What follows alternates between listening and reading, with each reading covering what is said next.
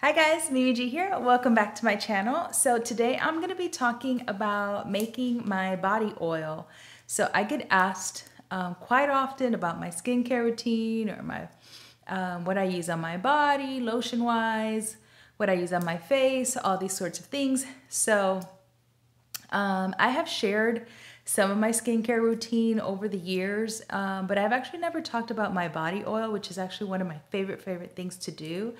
Um, I do sometimes make my own face oils, um, but I love skincare products, so I try things all the time just because um, it's interesting to me. So, uh, for those of you who don't know, I'm 44 years old, so I take a lot of um, caution in what I put on my face and on my body. Uh, so that I could stay looking as youthful as possible for as long as possible. Um, and one of the things that I like to do is uh, make my own body oil because why are you neglecting your body? Uh, a lot of times I see people doing their face and applying moisturizer and all the skincare stuff, and then they like stop like right here. And I'm like, but what about your neck and your chest? Like you don't want old neck and chest. You know what I'm saying? That's not cute. Um, so I always want to make sure that I have a good overall moisturizing oil for my body and I like making it because um, I have tried store-bought uh, products, but I have really dry skin and nothing ever really seems to work. So a couple of years ago, I had done some internet searching on body oils and how to DIY, and I had found a recipe that I really liked. I've sort of tweaked it, um, you know, over the years, and I still tweak it now. But this is my favorite combination. So I will preface this by saying that this works for my body, my skin type. I don't know if it will work for you. So if you do decide to put together this body oil that I'm gonna show you today, do a patch test, right? Check it um, somewhere on your body, see how your body reacts to it, um, and go from there. Make your own decisions at your own risk. Um, I mean, it's pretty basic though. So um, I use a carrier oil and then I use some essential oils. Actually, I use three carrier oils um, and then I add essential oils to that and it smells delicious. This one is very citrusy um, and so it's probably one of my favorites because you may have heard me mention over the years that I am very sensitive to smell, specifically perfumes. So in my household, nobody can wear perfume. My husband cannot wear cologne. My son cannot wear cologne. Um, the detergent to wash my clothes has to be unscented. Um, my kids can only use candles in their room and they have to close the door. Like they can't just leave the door open because I get a headache almost immediately and my stomach starts to hurt. It's just not a good good feeling. So, but what I have noticed um, is that citrusy smells or things that smell sort of medicine like peppermint, eucalyptus, things like that don't bother me. So that's what my oil is based on. Um, so I'm going to go through these uh, in detail and I'll show you how I put it together. But basically I use um, jojoba oil, avocado oil, and I use rose hip oil. So just really two quick things. Um, avocado oil is not the greatest if you have oily skin, okay? So if you have oily skin, you probably would not want to use the avocado oil as your carrier. The carrier oil is basically the most amount of oil that you're gonna be using. Um, so I would probably avoid avocado oil if you have oily skin. Now, jojoba oil and avocado oil are my favorites as far as uh, dry skin for my skin. This is very hydrating for me. Like I put avocado oil in uh, my little mixture here and it just makes me feel so soft and hydrated for a very long time. So, but like I said, I have very dry skin, so this works for me. Um, and then rose hip oil is also really good and works for most everybody.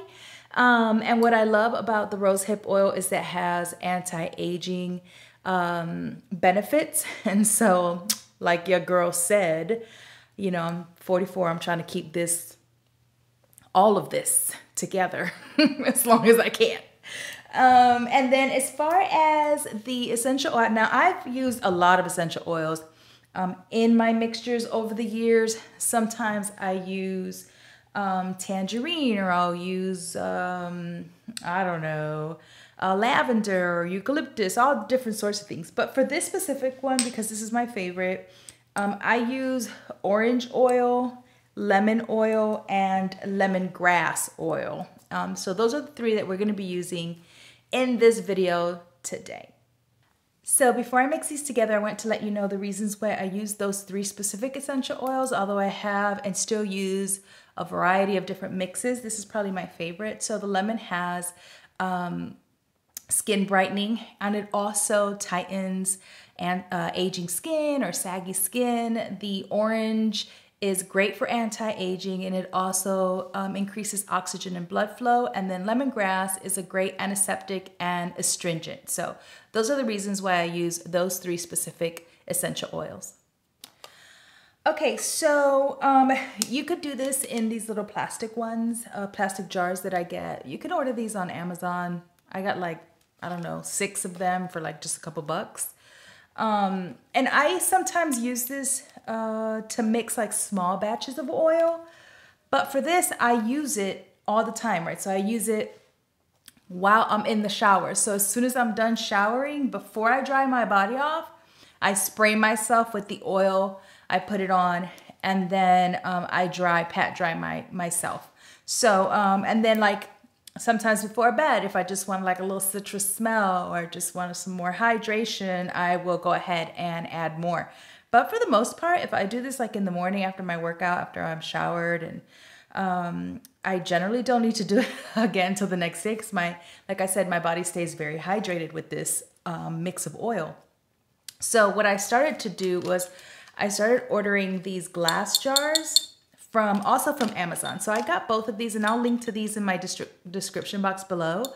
But what I love is that it's glass and it's big um, and it has a great nozzle. So I can literally like, you know, um, and spray my body down, y'all. Sometimes I'll just do it in my hands and then rub it on. Um, but uh, either one will work. I just prefer the pretty glass jars. So I would normally do this overhead, but I'm having overhead issues today. So we're just gonna do it this way. So I'm gonna give you the mix and I'll put the mix also in the description box below for you guys. But it's basically, for me, I use two ounces of rosehip oil, two ounces of jojoba oil, and two ounces of the avocado oil. Now, I will say, um, let me make sure I have all three. Yep, okay.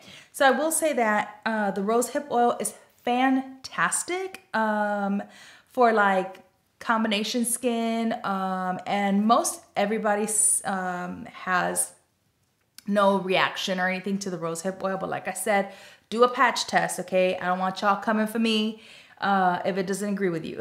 It does have great um, anti-aging benefits. It also offers antioxidants to my skin and vitamin A, which is why I use the rosehip oil. You can use just one of these oils as your carrier. Like you can choose, oh, I just want to do jojoba oil or oh, I just want to do avocado oil. Whichever one works for you is fine, but I like to mix all three of them together. So um, the avocado oil is fantastic, fantastic for me. It's probably the most hydrating. So the uh, jojoba oil is also one that uh, works for just about anybody. Um, so it's great if you have like combination skin or dry to normal skin. It would work really great for you. So again, choose which one you're gonna do, but if you're following this one exact, it's two ounces of each of those three. And then uh, the essential oils are lemon, orange, and lemongrass. And we're gonna do between six and 18 drops of each of those. Um, the other thing I want to mention really quickly is that I always make sure that my oil is cold pressed and unrefined. Um, and these are also chemical free. So you wanna make sure that you're getting really good essential oils um, because I have seen some that are not that great. And so you wanna make sure um, that if you're putting it on your body, that it's good. So, all right, uh, enough talking. Okay, so I'm gonna show you, I do this really quickly. Like I said, normally I would do this overhead, but we having issues today, y'all. I'm gonna take this off. So these here are four ounce bottles. This is, I'm starting with the rosehip oil, certified organic. Um, so I'm basically just gonna pour half of this bottle into this bottle.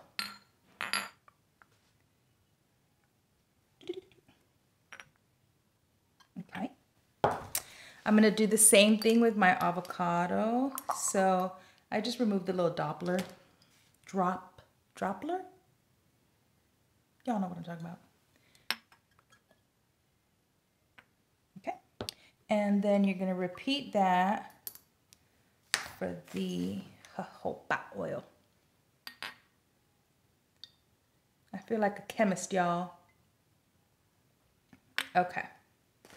So now that we have our carrier oils together, we're gonna go ahead and do the essential oils. Okay, so the essential oils sometimes come with these little caps where you can like uh, uh, uh, to try and get droplets out, but that's a pain in the ass. So I just pop it off and I use these little Dopplers because it's just easier. Okay, so I'm gonna start with my um, orange oil. We're gonna do six to 12. Really just depends on what you like. I usually do like 12. I'm gonna grab my lemon. We're gonna do 18 drops of the lemon. Okay. We're gonna do 12 of the lemongrass. Sweet. And then I just put my top back on and I shake this vigorously.